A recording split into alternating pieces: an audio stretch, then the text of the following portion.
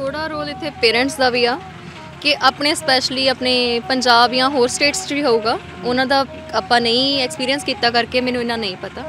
ਆਪਣੇ ਪੇਰੈਂਟਸ ਥੋੜਾ ਬੱਚਿਆਂ ਨੂੰ ਜ਼ਿਆਦਾ ਗੱਲ ਨੂੰ ਲਾ ਕੇ ਰੱਖਦੇ ਆ ਕਿ ਮੇਰਾ ਬੱਚਾ ਕੋਈ ਗੱਲ ਨਹੀਂ, ਹਨਾ? ਤੂੰ ਕੋਈ ਨਹੀਂ, ਤੂੰ ਹਲੇ ਐਸ਼ ਕਰ, ਤੂੰ ਤੈਨੂੰ ਕਾਹਤੋਂ ਇਹ ਫਿਕਰ ਕਰਨ ਦੀ ਲੋੜ ਆ? ਇਹ ਚੀਜ਼ ਦੀ ਫਿਕਰ ਕਰਨ ਦੀ ਲੋੜ ਹੈ, ਜਿੱਦਾਂ ਤੋਂ ਤੈਨੂੰ ਸਮਝ ਆਉਣ ਲੱਗ ਪਈ, ਜਿੱਦਾਂ ਤੋਂ ਤੂੰ 14 15 ਸਾਲ ਦਾ ਹੋ ਗਿਆ। ਤੈਨੂੰ ਵੀ ਨਾਲ ਫਿਕਰ ਕਰਨ ਦੀ ਲੋੜ ਆ ਕਿ ਆਪਾਂ ਹੁਣ ਗਾਹਾਂ ਕੀ ਕਰਨਾ? ਤੇਰੇ ਮਾਪਿਆਂ ਨੇ ਤਾਂ ਇੱਥੇ ਤੱਕ ਕਰ ਦਿੱਤਾ ਕੰਮ। ਆਪਾਂ ਇਹਨੂੰ ਗਾਹਾਂ ਕਿੱਦਾਂ ਵਧਾਈਏ, ਇਹਨੂੰ ਕਿੱਦਾਂ ਸਾਂਭੀਏ, ਹਨਾ?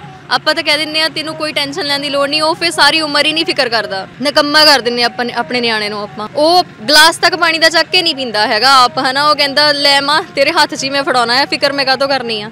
ਠੀਕ ਹੈ, ਆਪਾਂ 18 ਸਾਲ ਦੀ ਜਿਹੜੀ ਏਜ ਸੀ, ਉਦੋਂ ਤੱਕ ਉਹਨੂੰ ਸੈਲਫ ਡਿਪੈਂਡੈਂਟ ਕਰਨਾ ਸੀਗਾ। ਆਪਾਂ ਉਲਟਾ ਗੱਲ ਨਾਲ ਲਗਾਈ ਗਏ ਲਗਾਈ ਗਏ ਉਹਨੂੰ। ਤੇ ਉਹ 45 ਸਾਲਾਂ ਤੱਕ ਵੀ ਉਹ ਪਰਸਨ ਸੈਲਫ ਡਿਪੈਂਡੈਂਟ ਨਹੀਂ ਹੋ ਪਾਉਂਦਾ। ਉਹ ਦੇਖਦਾ ਆ ਕਿ ਮੈਂ ਹੁਣ ਬਾਪੂ ਦੀ ਆਹ ਵਾਲੀ ਜ਼ਮੀਨ ਵੇਚ ਕੇ ਬਾਹਰ ਚਲ ਜਮਾਂ ਮੈਂ